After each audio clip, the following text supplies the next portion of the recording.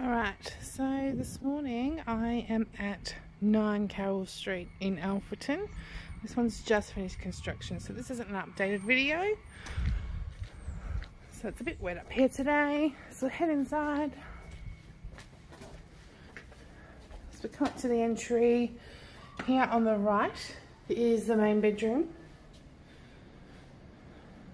which is a nice big bedroom Lots of space. It's got a walk-in robe. Over here. Lots of hanging space, shelving up the top.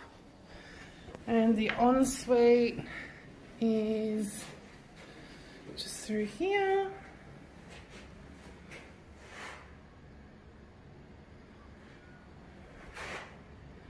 And then as we head back out, the next right here is lounge room. It's a big open entry there.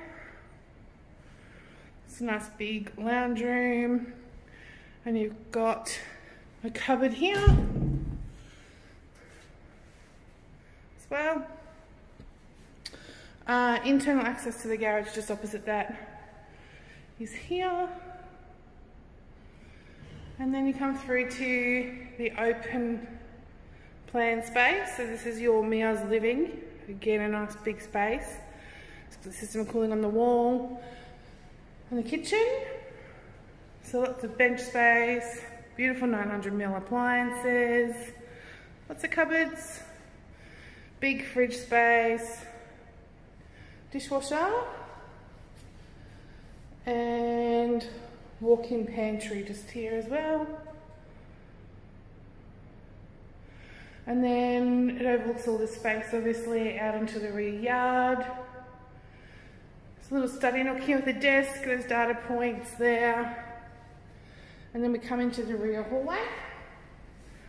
Um, off to the left, we've got bedrooms two and three. Again, decent sized bedrooms with mirrored sliding robes. So here's bedroom three. It's got the robes as well, just behind the door there. Main toilet and bathroom.